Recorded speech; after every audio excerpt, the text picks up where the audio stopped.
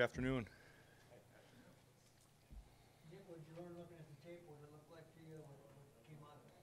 Uh, there was a lot of positives to take away. Uh, we moved the football. We scored points. Um, obviously, you have to protect the ball and play smart football because that's what wins. Um, and you go from there. You take one week at a time. You watch the film. You learn from it. Uh, learn that we still have a really good football team, and uh, just time to put it together. How do you protect the ball and play free, so to speak, and confident? Yeah, no doubt. There's definitely a balance of uh, being aggressive, but also being situationally aware, and um, you're always trying to find that balance. Um, every play is its own. One play does not affect the next, so you always keep that in mind and just execute the play that's called.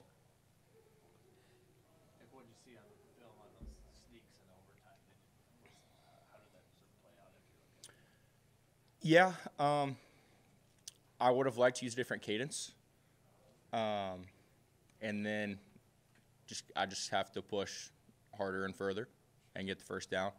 Um, hate the game and like what a what a way to like not succeed, um, but that's the game that we play. Um, so it's past us now. Um, got an extra day to prepare this week, going over third downs already. Um, so we're excited for this week for sure as well. Was that the first time you ever did that in a, in a live game? The, the shove style sneak? Yes, it is. Um, but to me, whether there's a shove or there's not a shove, not too much different. Uh, just got to stay low, push forward, and um, yeah. On the, on the cadence, are you saying a different one from the first play to the second play, or just different one altogether? Or?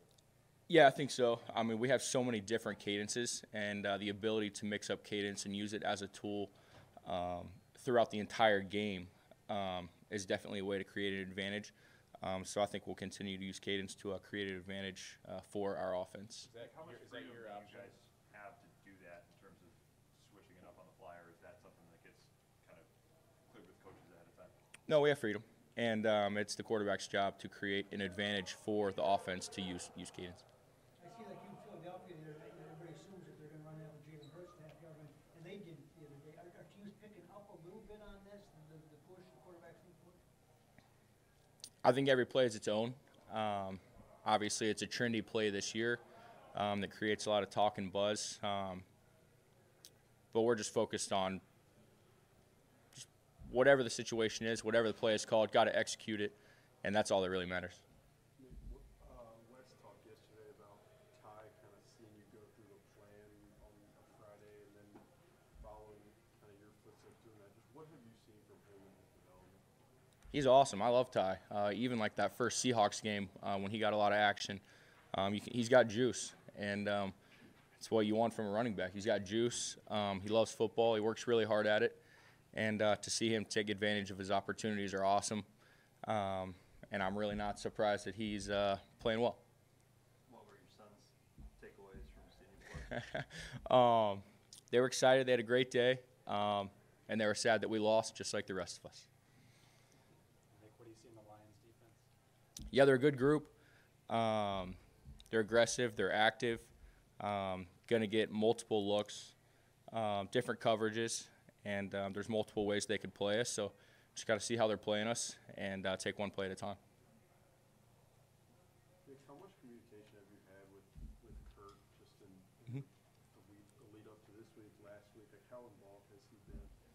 Uh, yeah, I'd say a pretty good amount. Um, we have a great relationship. Thankful for um, all that Kirk has been for this team and for me since I've been here. Um, and yeah, we talk a good bit. Talk about situations that play out through the game. Um, talk about what plays look good on third down this week. Um, so all sorts of stuff. Uh, he loves football. He loves talking football. He loves strategy. Um, and so he's been a great resource. Nick, how do you balance just like the mindset of being willing to let it rip, trying to mo- monitor and make sure you don't turn the ball? Yeah, I think it's just uh, one play at a time. Just got to focus, got to execute, um, know what your job is, and do it to the best of your ability. And I feel like I did a good job of that uh, versus Cincinnati, but obviously just got to eliminate the mistakes and uh, be a really good quarterback and collectively be a really good unit. Just stay efficient and protect the ball.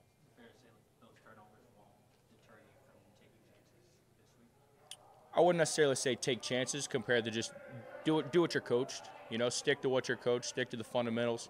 Uh, stick to quick decision making, decision making, and accurate throws.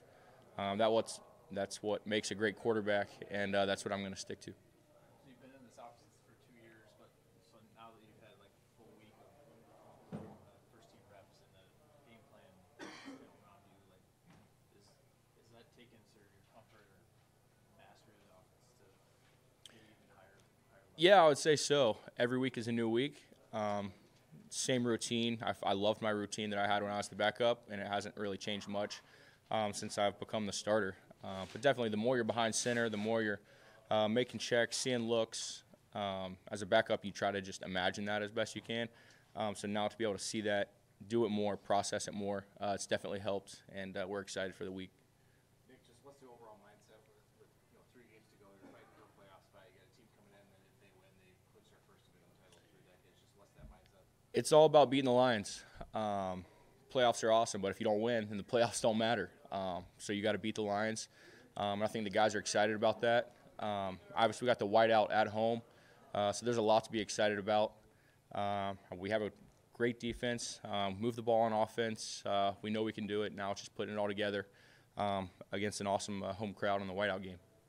We know that Jefferson came back, but explain to Addison how he does what he does at that size. What what would have been your impressions in playing with in? Yeah, um, I think I think it's important to realize that like people might say that he's small, but he plays bigger than he is. Um, people might say dog mentality, but if you watch him block in the run game or separate versus man, um, or get 10 plus yards after the catch, uh, he's got more than whatever you think he has, and uh, I think that's been a really cool attribute to see. Um, he's been nothing but consistent since he's been here, and uh, he's a great player. Nick, on the, uh, the interception where you're going, you're being taken down, you're trying to just kind of throw it away there. As you look back at that, what, do you- what do you learn from that? I mean, every NFL play is, is, is, is different, Mhm. but, uh, if you're in that situation again, do you remember that, or what did you learn? uh, take the sack and kick the field goal. Um, as a quarterback, you do train to not take sacks, especially in two minute. Um, but there, you definitely have to um, flip the mindset. You already have points, so take the points and uh, just be a smart player. Is it easy to, to do that? Like, is your brain wired one way and then you kind of break, or are you able to kind of take that and kind of use it? Yeah, I think it's. Uh, is it easy?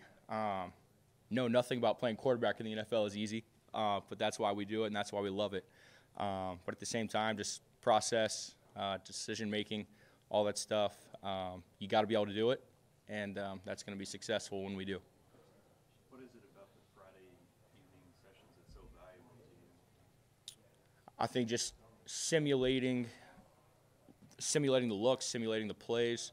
Uh, you get so much information during the week. Uh, you got to process it, and then just Friday's the time to sit back, relax, go through all the plays, and uh, feel what it's going to feel like. And uh, that's been very useful for for my uh, routine.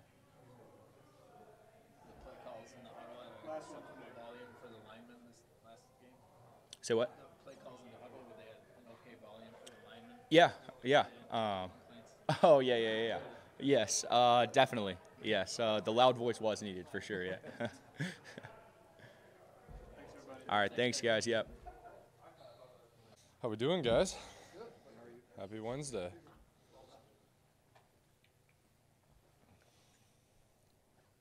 TJ, what do you think of seeing your former team on top of the division right now? Yeah, um, you know, I think it's just you know, uh, it's a, it's another team, you know, and uh, we have a chance to be able to, to go out and play them this week, and uh, that'll be a lot of fun. So, um, you know, we got everything out in front of us that we've we set out to do. So, um, you know, we, we just got to control what we can control and um, go out and play as hard as we can. You know. With their offense, I mean, you worked obviously closely with Ben Johnson there. What do you remember your time with him? Yeah, I mean, you know, Ben was my tight ends coach for a couple of years, and I mean, he's a, he's an awesome dude. Uh, I, I loved Ben. Um, you know, being able to work with him, and um, you know, he taught, he was able to teach me a lot um, while I was there. Um, he's got a good offensive mind, and um, you know, he, he he does a lot of things really well. So, um, you know, he fits really well with Jared too, and um, you know, it's it's going to be a good challenge for our defense, but um, nothing they're not up for, you know, by any means. So. Uh, it's gonna be it's gonna be a lot of fun on Sunday. What are the challenges of playing with a series of different quarterbacks? What do you have to do differently as a receiver, or does it just take more time to prepare during the week?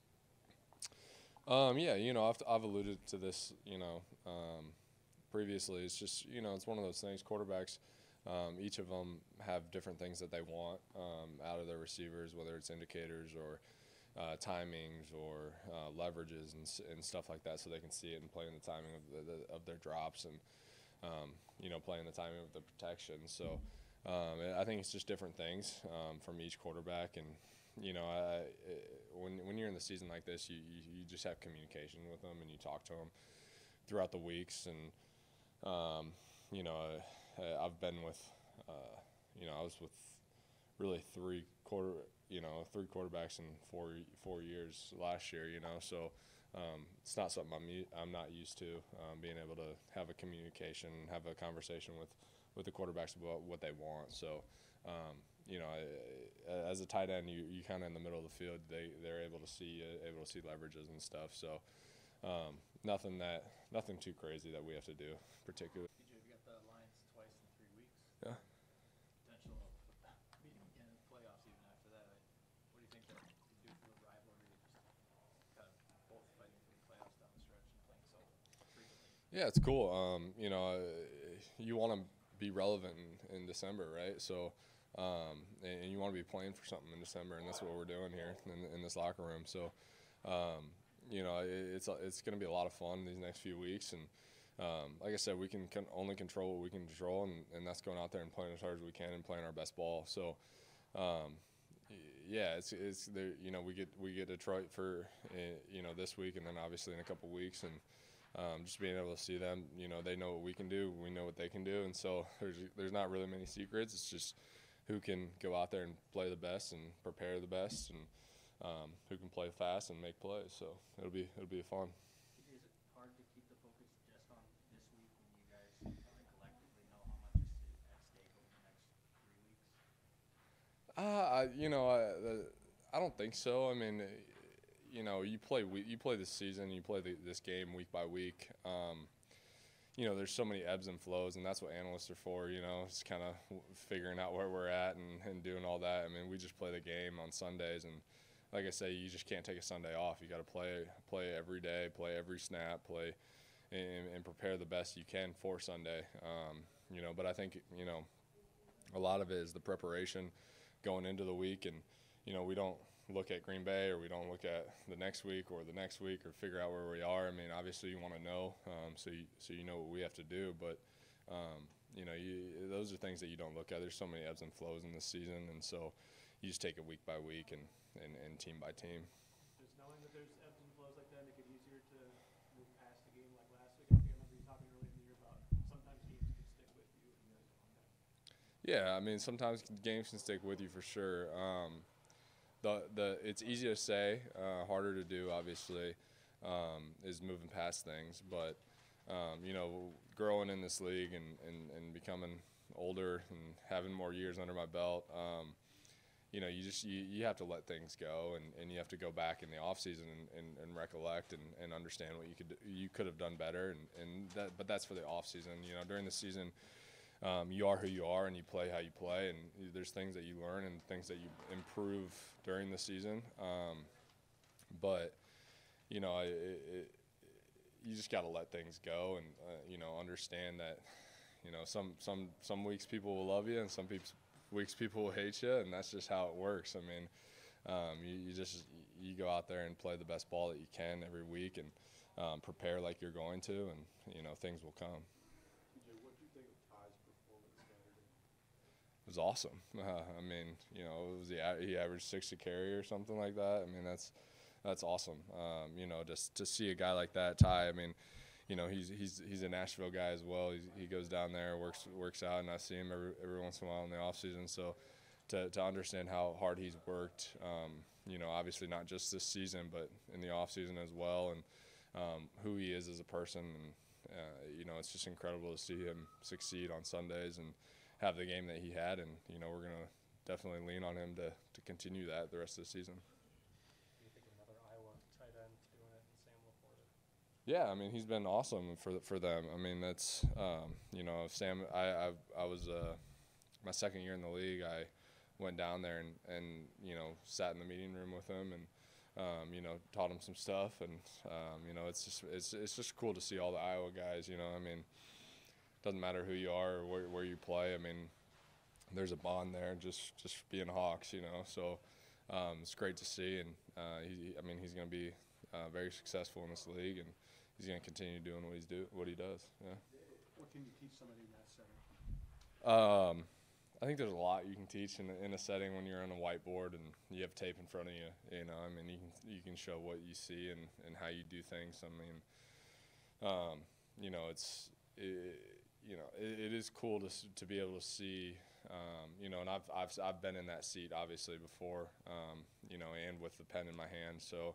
Um, to understand what guys do differently and what they see um, pre-snap, post-snap, um, and, and how you kind of release against man coverage and how you win against man coverage and how you win against zone coverage and finding the zones in it and you know there's a lot that you can kind of see pre-snap and then obviously you know this league is made of match coverages and um, they try to disguise as much as they can so trying to be able to decipher post-snap too because you don't always get to see uh, or they'll give you a man tell and they'll play zone so stuff like that i mean there's a lot to learn in a whiteboard um, with with film in, in in the in the room. So um, yeah, I mean it, it is fun to do to be able to do that kind of stuff. TJ, as you close in on hundred catches, thousand yards, what do the numbers mean to you? Uh, not much right now. Um, you know, obviously it's just you, you know you want to go out there and like I say, you play every Sunday um, as hard as you can, as much as you can, and, and you kind of look at that stuff after the season. Um, you know, and, and be able to recollect, but. You know, Kirk's alert, alluded to that. I mean, every year you want to go into the to the season and just be a consistent player, and you know, every Sunday you want to be able to be that guy um, that can make plays when your number's called, and you know that's that's just what we strive for. So um, that's that's what I'm gonna continue to try to strive for, and uh, just be consistent throughout the year. Um, you know, but uh, that's the the numbers and stuff that doesn't really matter to me too much right now. Um, that's like I said, that's stuff that you look at in the off season and recollect and and just see where you were at.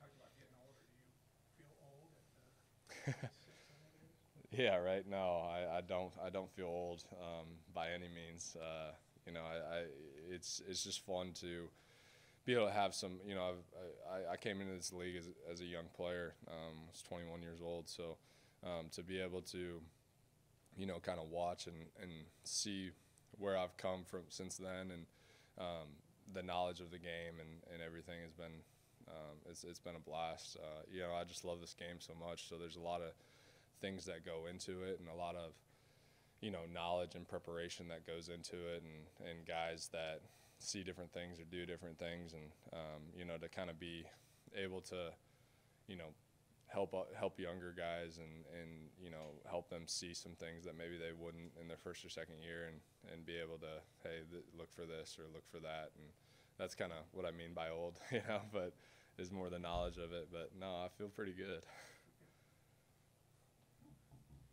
Cool thanks guys. Appreciate it